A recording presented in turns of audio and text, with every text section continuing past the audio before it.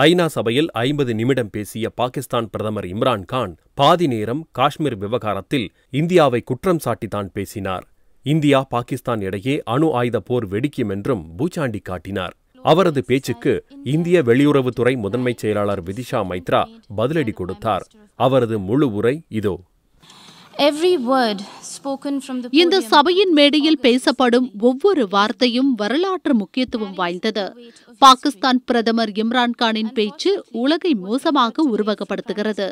நாங்களும் அவர்களும் பணக்காரரும் ஏழையும் வடக்கும் தெற்கும் வளர்ந்ததும் வளர்வதும் முஸ்லிம்களும் மற்றவர்களும் என அவர் ஒப்பிட்டு பேசியது. ஐநா சபையில் பகைமையை ஏற்படுத்துவதாக இருந்தது. சுருக்கமாக சொன்னால் வெறுப்புணர்வை தூண்ட அவர் முயற்சித்திருக்கிறார். தங்களது கருத்தை கூற வேண்டுமே ஒழிய ஐநா மேடையை தவறாக பயன்படுத்தக்கூடாது. தலைவர்களின் வார்த்தைகள் முக்கியமானது. படுகொலை இரத்தப்பாதை இன துவேஷ மனப்பான்மை துப்பாக்கியை தூக்குவோம் சாகும் வரை போராடுவோம் போன்ற வார்த்தைகள் அவரது பிற்போக்கான மனநிலையை காட்டுகிறது. இருபத்தி ஓராம் நூற்றாண்டின் தொலைநோக்கு பார்வையை காட்டவில்லை. அணு ஆயுத போரை துவங்குவோம் என்ற இம்ரானின் மிரட்டல் அவரது பக்குவத்தை காட்டவில்லை பொறுப்பின்மையை காட்டுகிறது. பயங்கரவாதத்தை தொழிலாக கொண்ட ஒரு நாட்டின் தலைவராக இருந்தாலும் கூட பயங்கரவாதத்தை நியாயப்படுத்துவது ஆணவம் மட்டுமல்ல கலக்கத்தை தூண்டும் செயலும் கூட.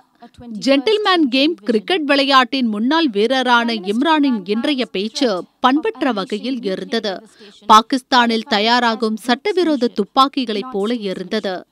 பாகிஸ்தானில் பயங்கரவாத அமைப்புகளே இல்லை என்பதை உறுதி செய்ய ஐநா பார்வையாளர்களை இம்ரான்கான் அழைக்கிறார் உங்கள் உறுதிமொழியை உலகம் நினைவுபடுத்தும் Now that Prime Minister Imran Khan has invited UN observers to Pakistan to verify that there are no militant organizations in Pakistan, the world will hold him to that promise. Here are a few questions ஐநா ஆராய வரும் முன் சில கேள்விகளுக்கு பாகிஸ்தான் பதிலளிக்க வேண்டும். ஐநாவால் அறிவிக்கப்பட்ட நூற்று முப்பது பயங்கரவாதிகள் இருபத்தைந்து பயங்கரவாத அமைப்புகளுக்கு பாகிஸ்தான் தான் தாய்நாடு என்பதை பாகிஸ்தான் ஒப்புக்கொள்ளுமா? ஐநாவால் பயங்கரவாதியாக அறிவிக்கப்பட்ட நபர்களுக்கு பென்ஷன் தரும் ஒரே நாடு பாகிஸ்தான் தான் என்பதை இம்ரான் ஒப்புக்கொள்வாரா? நியூயார்க்கில் செயல்பட்டு வந்த பாகிஸ்தானின் முன்னோடி வங்கி ஹபிப் பேங்க் மூடப்பட்டது ஏன்? பயங்கரவாதத்திற்கு நிதி உதவி செய்ததற்காக வங்கிக்கு பல கோடி அபராதம் விதிக்கப்பட்டது பற்றி பாகிஸ்தான் விளக்குமா? பயங்கரவாதத்திற்கு நிதி உதவி செய்ததன் மூலம் விதிமீறிய பாகிஸ்தானுக்கு பினான்சியல் ஆக்ஷன் டாஸ்க் போர்ஸ் அமைப்பு நோட்டீஸ் அனுப்பியதா? உங்களால் மறுக்க முடியுமா? ஒசாமா பின் லேடனின் ஆதரவாளன் இல்லை என்று நியூயார்க் மக்கள் முன் கூறும் தைரியம் இம்ரானுக்கு உண்டா? பயங்கரவாதத்தை தொழிலாக கொண்ட பாகிஸ்தான் புதிதாக மனித உரிமை காவலன் போல காட்டிக்கொள்ள முயற்சிக்கிறது. பாகிஸ்தானில் ஆயிரத்து தொள்ளாயிரத்து நாற்பத்தி ஏழில் சிறுபான்மையினரின் எண்ணிக்கை இருபத்தி மூன்று சதவீதம் அது இன்று மூன்றாக குறைந்திருக்கிறது.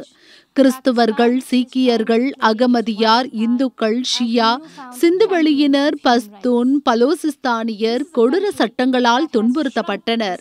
கட்டாய மதமாற்றம் செய்யப்பட்டனர். அப்படிப்பட்டவர்கள் இன்று மனித உரிமையை போதிப்பது ஆட்டை வேட்டையாடிவிட்டு தற்பெருமை பேசுவதற்கு சமமாகும். பிரதமர் இம்ரான்கான் அவர்களே இன்று எந்த ஜனநாயக நாட்டிலும் படுகொலைகள் என்பது இல்லை. வரலாற்றை பற்றிய உங்களது அரைக்குறை புரிதலை திருத்திக் கொள்ளுங்கள். ஆயிரத்து தொள்ளாயிரத்து எழுபத்தி ஒன்றில் சொந்த மக்களையே கொடூரமாக கொன்று குவித்ததையும் அதில் லெப்டினன்ட் ஜெனரல் நியாயஸின் பங்கையும் மறந்துவிடக்கூடாது. வங்கதேச பிரதமர் சற்று நேரத்திற்கு முன்புதான் சபைக்கு அதை நினைவுபடுத்தினார். ஜம்மு காஷ்மீரின் வளர்ச்சிக்கு தடையாக இருந்த தற்காலிக சட்டப்பிரிவை நீக்கியதை கெட்ட எண்ணத்துடன் பாகிஸ்தான் எதிர்க்கிறது. காஷ்மீரில் சண்டையை தூண்டிவிடும் நீங்கள் அமைதி துளிர்ப்பதை எங்கு விரும்ப போகிறீர்கள்? காஷ்மீரில் பயங்கரவாதத்தையும் வெறுப்புணர்வையும் தூண்டி விடுவதையே பாகிஸ்தான் வேலையாக செய்கிறது. இந்தியாவோ வளர்ச்சியை மட்டுமே பார்க்கிறது.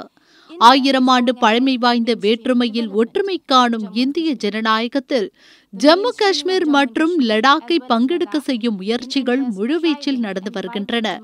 அதிலிருந்து பின்வாங்க மாட்டோம். இந்திய குடிமக்களுக்காக யாரும் பரிந்து பேச வேண்டிய அவசியமில்லை. அதுவும் பயங்கரவாதத்தை தொழிலாக கொண்ட ஒரு நாடு பேச வேண்டிய தேவையில்லை. The citizens of India do not need anyone else to speak on their behalf. least of all those who have built an industry of terrorism from the ideology of hate. I thank you, Mr. President.